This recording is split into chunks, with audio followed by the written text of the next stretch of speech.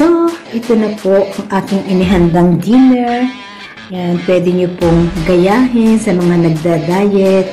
Ito po ay ginamitan ko ng cucumber, tomato, lettuce, um, puting sibuyas, at saka tuna. Lalagyan lang po ng olive oil.